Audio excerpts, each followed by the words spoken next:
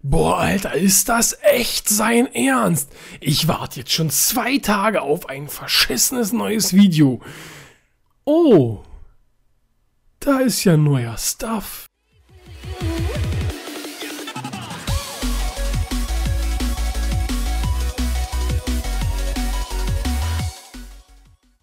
Ja genau, Halli, hallo, hier ist der Gusur wieder natürlich. Ich kann euch ja nicht so extremst lange alleine lassen. Nein, es ist Weihnachten vorbei. Ich hoffe, ihr habt die zwei Tage gut überstanden.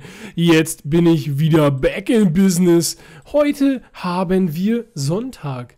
Sonntag Gusur aufnehmen? Ja, wer ist schuld? Lichtle.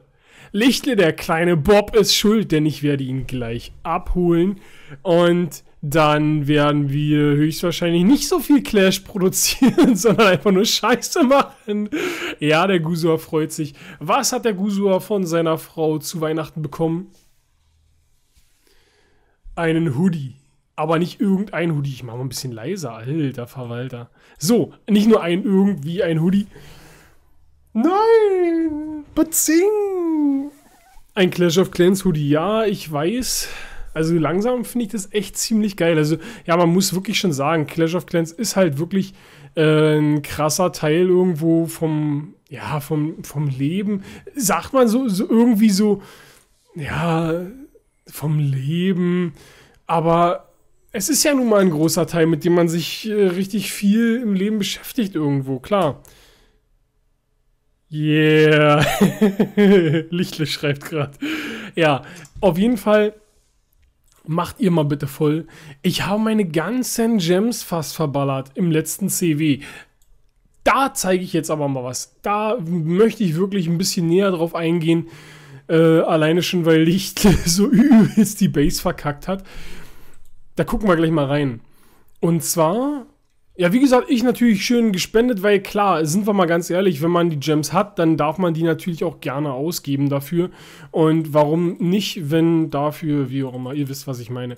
Ähm, ich mache jetzt nur noch, also jetzt zum Thema Queen War, klar, sorry, ist ein bisschen durcheinander wieder, weil so geballte Power, man will wieder was loswerden. Und ja, äh, auf den auf den äh, einzelnen Accounts ja, Alter, ich bin schon so durcheinander. Nein, also ich habe ja sonst immer drei Kasernen mit jeweils Heilern gemacht und dann halt die letzte mit Barge und den Mauerbrechern mache ich jetzt mittlerweile nicht mehr, weil ich halt so viele Heiler gar nicht mehr brauche, beziehungsweise gar nicht verwenden kann. Klar kann man jetzt trotzdem drei Kasernen ausbilden mit Heilern und dann halt zweimal hintereinander angreifen, im besten Fall, klar, aber im schlechtesten halt nicht. Somit gehe ich lieber auf Nummer sicher und sage mir, komm, Bart spiele ich ordentlich aus und dann passt das. Der eins von den Gegnern kann gar nichts. Äh, das war mir gleich klar, dass der erste von denen nichts kann, weil die werden alle nicht wirklich viel können. Jetzt ohne hier jetzt, wer weiß wie, auf den Putz hauen zu wollen. Folgende Sache ist die, wir haben gerade CW und guckt euch das mal an. Also, wir gehen gerne mal in unsere rein und wir sehen zweimal Town Hall 11, klar, einmal Town Hall 10 und dann Town Hall 9. Wie gesagt, mittlerweile brauchen auch Maxed Out Town Hall 8er nicht mehr anfragen. Mittlerweile ist das wirklich für den oberen Bereich. Wenn ihr das haben wollt, dass es halt wirklich nochmal irgendwie einen Zweitclan gibt, ist das okay, kann das gerne gemacht werden. Aber wie gesagt, es ist halt wirklich so, im CW ist halt wirklich dann so, dass man mit dem Town Hall 8 halt dann nicht mehr wirklich viel ruppen kann, beziehungsweise dann halt ge-3-start wird, was natürlich schade ist. Wenn wir zum Beispiel hier, genau, ganz easy Ding. Hier gucken wir mal kurz rein in die Base von Tim. Sehen wir Town Hall 9. Noch nicht mal maxed, hat er Glück gehabt, dass er angenommen wurde. Aber es ist einfach schwieriger, ganz klar, ein Town Hall 9er zu 3-Starren als ein Town Hall 8. Brauchen wir uns nichts drüber sagen, klar. Und jetzt kommt sogar noch der Knüller. Wenn wir dann nämlich sogar gegen solche Gegner kommen, also ihr habt es gesehen von der Aufstellung her, zwei Town Hall 11, ein Town Hall 10 und dann Town Hall 9. Ein Town Hall 11 und WTF erstmal bis zum Town Hall, also bis zum 9. einfach mal schön Town Hall 10. Und jetzt kommt's. klar sind die dann, ich, ich, ich gucke jetzt einfach mal in den Achter rein, den würde es bei uns im Clan definitiv nicht geben, weil ich, das sind Sechsermauern, das sind Sechsermauern, also ein bisschen gerusht, aber er hat halt einfach mal zusätzlich die Infernos. Die sind auch nur auf Level 1, die Helden sind auch total low und wie auch immer, klar. Aber es sind, ihr wisst es selber, jeder, der CW mal gemacht hat oder auch grundsätzlich mal angegriffen hat, Inferno ist halt nochmal eine ganz andere Story. Das ist ganz klar. So, jetzt gucken wir nochmal. Viele haben nämlich gefragt, oh, wie siehst du denn das hier, dass die Infernos eventuell bald low oder äh, fertig gehen hier. Hier sieht man halt das dunkle Elixier drin und da ist dann drauf zu schließen, ob die halt voll sind oder nicht. Ich gucke mal gerade, ob man da noch den Unterschied sieht. Ich schaue mal gerade rein. Nee, aber ich würde jetzt einfach mal tippen. Ich lehne mich jetzt sehr, sehr weit aus dem Fenster, aber der hat garantiert ein bisschen was an. Der hat nix. Okay, dann könnte es wirklich sein, dass ich, ich, ich gucke mal gerade. Oh, jetzt schauen wir mal hier, ihr seid live dabei. Weil irgendeiner wird ja garantiert randvoll oder halbwegs. Alter, die haben. Die haben nichts am Start? Alter, was sind denn das für Boys? Weil ich würde nämlich gerne mal gucken. Ladekosten ist klar. So. Ich, ich möchte das nämlich mal schauen, ob man da echt einen Unterschied sieht. Weil ich würde jetzt nämlich mal tippen, dass sie alle ihre Infernos geladen haben.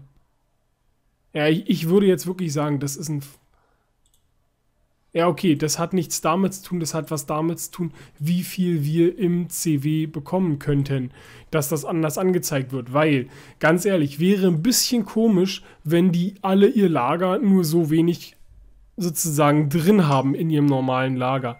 Ähm, so, nichtsdestotrotz könnten wir, kleinen Moment, wir können in den Clan reingehen, Spieler-Clan, und dann können wir Faisal. Ja, das wird hier der erste sein. Da besuchen wir mal. Ganz genau. So, da sehen wir nämlich, hätte mich jetzt nämlich auch ein bisschen gewundert, wenn die alle irgendwie nichts Dunkles im Lager gehabt hätten. Also, das hier ist ein voller Inferno. Das sieht man aber dann erst, wenn, äh, wenn, er, wenn er halt leer ist, dann hat er halt hier nichts drin. So, dazu jetzt nochmal. So, jetzt gehen wir aber gerne wieder in die Kriegsbase. So, folgende Sache gegen den Inferno ist natürlich immer eine etwas schwierigere Nummer, ganz klar. Ich denke mal, ich gucke mal, was mir vorgeschlagen wird. Der sechste ist natürlich auch eher so, hm, schade. Ähm, ich würde mal fast denken, ich würde den, obwohl der auch schon richtig harte Nuss ist, weil der hat einfach mal Maxed Helden, das ist schon richtig, richtig fett. Das ist richtig, richtig fett. Den möchte ich nicht probieren. Ähm, da überlasse ich dann wirklich Disiax und äh, Lichtle die Front. Aber der wurde schon angegriffen. Aber nice, ganz ehrlich. Clasher ist der siebte. Ja, da gucken wir uns den einfach mal an. Ein, ganz ehrlich, ich meine, klar kann man sagen, oh ja, der hat ja nur das Town Hall weggeballert. Aber ganz ehrlich, als siebter den äh, dritten anzugreifen, ist doch eine nette Nummer. Da seht ihr mal, das sind also nicht einfach nur alles Hasenfüße und sagen, äh, hier, komm, hier, machen wir mal. Noch eine Idee, was richtig geil wäre, wäre doch echt eine Art Slow-Mo. Also ich meine, klar, ich kann es natürlich im Video dann in Slow-Mo machen, aber wenn man wirklich ganz gewisse Sachen hat, die wo halt schnell gedroppt wurde oder sowas, würde ich das richtig geil finden, dass er, äh, dass man die Möglichkeit hätte, halt Slow-Mo zu machen. So eine Go-Wipe. Golems sind drinne soweit, das ist nice. Magier, nice gedroppt. Pekka und dann aber in Verbindung mit Valkyren. Wobei ich wirklich ganz ehrlich sagen muss, Valkyren finde find, find ich, also klar, man kann jetzt auch sagen, ja, du bist zu dämlich mit Valkyren anzugreifen, aber jetzt so die, die Mega-Dinger sind es in meinen Augen echt halt nicht. Sonst würde man sie auch öfter verwenden. Ist natürlich krass, dass die sich wirklich in den äußeren Bereich, aber ich meine, Queen kümmert sich da ganz lazy drum, das ist ganz cool. Aber er hat die CB noch nicht rausgeballert. Also, in der gegnerischen CB war ja der Lavahund, das haben wir ja gesehen. Aber.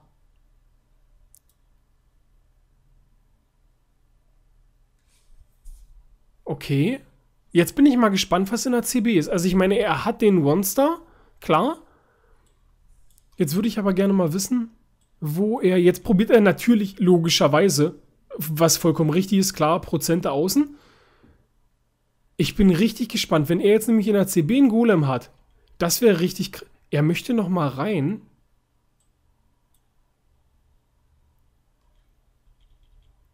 Ich bin richtig, richtig gespannt.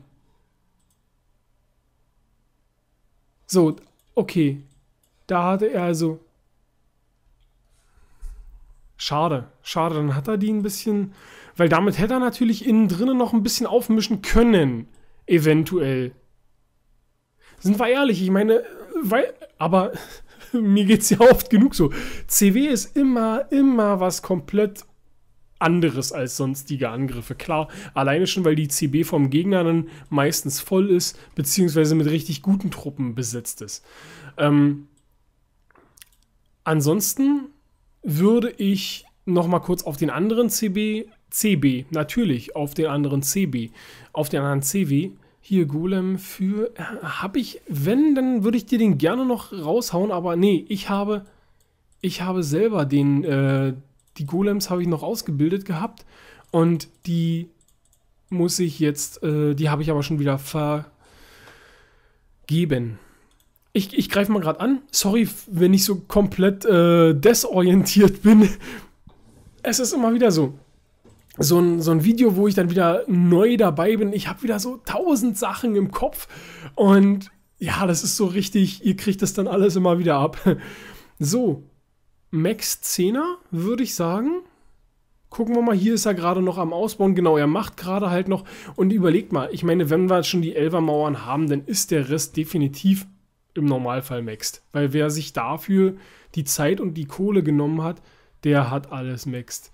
Ja, hm, ich meine, wir haben hier geilen Loot. Geilen Loot. Hier, wenn wir von hier aus reingehen würden.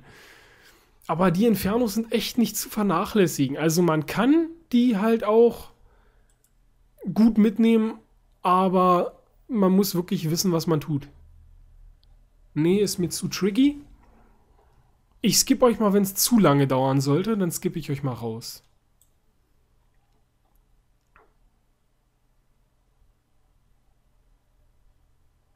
Hier, guckt mal. Da ist auch wieder so ein Gegner, wo ich sage, okay, 2K, ganz nice.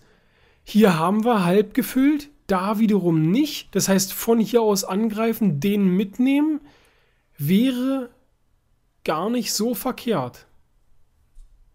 Er hat auch nur zwei Bohrer, logischerweise. Ob ich dann das Town Hall bekomme, wäre halt die nächste Sache. Ich würde mir den King aufs Letzte lassen. Ich mach's. Aber auch wirklich nur, weil ich gesehen habe, dass der äh, den anderen, äh, der andere halt nicht, nicht voll ist. So, gucken wir mal. Wirklich gucken. Guckt wirklich, was kann die Queen. Klappt das oder klappt das nicht? So. Aber wie gesagt, also hier so eine Sache mit äh, 5er Queen und sowas brauchen wir nicht mehr sagen. Das ist nichts mehr. Äh, das wird nichts mehr. Da braucht man keinen Queen Walk mehr probieren. So, jetzt muss ich halt wirklich gucken, komme ich da irgendwie rein. Ich würde hier die gerne killen, dass die mir nicht zuvor die Luftabwehr äh, die Luft abschnürt im Bereich äh, Heiler killen. Ja, genau, ganz, ganz genau. Und jetzt kommt nämlich die Queen nicht schnell genug ran. Und deswegen würde ich jetzt gerne mit dem King. Ja, genau. King, mach bitte die Luftabwehr platt. Und dann könntest du eventuell noch reinkommen. Jo. Genau. Oh, sehr gut. Sehr gut. Nochmal ein Rage. Ballern wir rauf. Dunkles ist schon gut genommen, aber ich muss natürlich auch noch das Town Hall irgendwie erreichen weil ich sonst ein Problem habe, äh, weil ich sonst nicht den kompletten, äh, das komplette Dunkle bekomme. Und das möchte ich schon gern. Also die 2K will ich schon sehen. Und natürlich auch den Liga-Bonus. Mittlerweile ist der halt nicht zu vernachlässigen. Den muss man halt mitnehmen. Ganz klare Geschichte. Sonst sitzt man da. Hm. Und man sollte auch so, ja, oberhalb 50% halt machen, weil es sonst halt zu wenig Bonus ist. Oh, es klappt aber. Ja, ja, ja, das klappt. Jetzt werde ich überlegen, ob ich eventuell noch ein bisschen Bartsch drumherum spamme. Aber erstmal will ich gucken, dass das hier mit der Queen klappt. Dass ich da im schlimmsten Fall halt Rage, also die Ability machen kann und dann im schlimmsten Fall halt nochmal ein Rage droppen kann. Ability? Nö. Ability sollte passen. Die muss ich noch nicht einsetzen. Ja, und jetzt hat er sein ganzes Pulver eigentlich schon verschossen. Wir haben hier noch ein bisschen was, was uns stören könnte.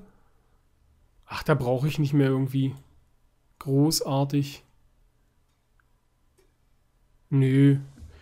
Zumal zwei Heiler habe ich noch in Reserve. Das heißt, ich könnte noch einen Queen Walk machen, wenn ich eventuell noch einen Rage dann hinbekomme. Also wenn ich noch einen Rage äh, in der Zauberspruchfabrik eventuell ausgebildet habe in der Zwischenzeit. Ja, die Prozentzahl ist auch ganz nett. Das läuft. Und jetzt hier sogar noch den Bohrer dann äh, snacken und dann habe ich das ganze dunkle. dunkle äh, CB war hier. Das heißt, da ist auch nichts mehr drin. Genau. Das heißt, komplett 2K DE. Und dann kann ich jetzt hier noch die Zeit nutzen, um halt meine Queen hochzubringen. Und das war's eh, genau, passt. Jetzt kommt gleich Ende. Nett, inklusive dem Bonus ist das dann nochmal eine ganz andere Geschichte. Haben wir 2,5k und das ist in Ordnung. So grundsätzlich mit dem Bonus ist es okay, dass es geändert wird, aber ganz ehrlich, ich finde wirklich, wenn das Town Hall gesnackt wird und ich sage jetzt mal, 10% hätten auch gereicht, meiner Meinung nach, für ein Schild.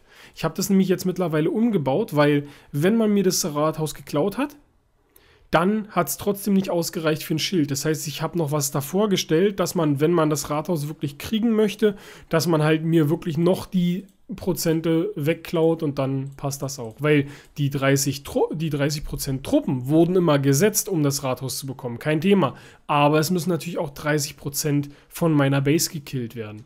So, und jetzt würde ich fast sagen, wenn das alles safe ist, da können wir nochmal einen Angriff mit starten.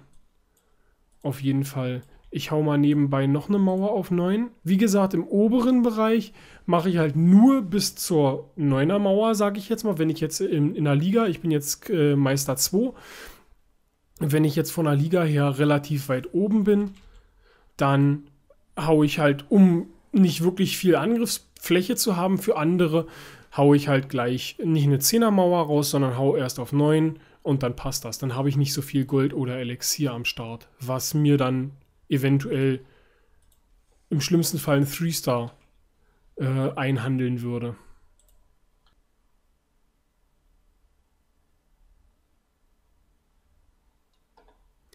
Hier könnte man halt gucken, ob man eben über die 50% geht. Aber die Gefahr ist natürlich wirklich, dass der Inferno mich hier dann gleich... dass ich probiere, hier rein nur das Ding weg und dann mit dem Rest. Ja, ach, wir, wir probieren es. Ich habe ich hab danach eh nichts weiter vor. Das heißt also, ich muss jetzt nicht noch einen Angriff oder sowas tätigen. Dann schauen wir mal, ob wir hier reinkommen. Ah, die kriege ich schon ganz schön gut ab, würde ich sagen. Es sind halt nur vier Heiler, ganz klare Geschichte. Aber ich muss auch dazu sagen, ich kann natürlich jetzt auch immer noch ein bisschen was als Ablenkung hier wegballern. So, wobei ich eigentlich nicht zu viel ablenken möchte, weil ich will ja, dass die Queen dann nicht weiter reingeht, sondern sich dann, genau, die soll jetzt halt hier wirklich das Dunkle nehmen und dann halt irgendwie sich weiter draußen hin orientieren. Eigentlich. Ich habe noch ein Rage. Das passt also. Ah. Die geht in einen Bereich, in den ich sie eigentlich nicht haben möchte. Ah, wenn, wenn Inferno ist, dann klar, kein Heal. Das ist halt Pech, klar. Ähm, schade. Sie hätte draußen langlaufen können, aber wie gesagt, so ist es halt. Das bin ich eingegangen, das Risiko. Ich habe das Dunkle bekommen. Die Pokis sind mir jetzt nicht so krass wichtig, aber naja, 1,25 ist jetzt auch nicht der Mega-Loot, ganz klare Geschichte. Ich meine, jetzt kann ich eh noch nicht ich könnte jetzt überlegen, ob ich sage, gut, okay, ich mache nochmal so, einen, so einen Frontalangriff, hau die 120.000 dann raus für den, für den King, aber ich bin eh gerade im CW, von daher werde ich den King nicht upgraden. Ja, passt. Ich denke mal, dafür war es noch in Ordnung. Dann brauche ich noch 15.000. 15.000 müssten es sein, genau, um die Queen dann zu uppen. Und dann gehe ich nach dem CW halt, äh, denke ich mal, wenn ich die Queen soweit fertig habe, wieder lege ich die Queen schlafen und dann passt das. Ich hoffe, es hat euch gefallen. War jetzt wieder ein bisschen mehr, aber ich denke mal, ihr könnt es mir verzeihen. Nach der langen Wartepause, denke ich mal, ist das okay. Ich wünsche euch was. Ihr haut rein. Ciao, ciao.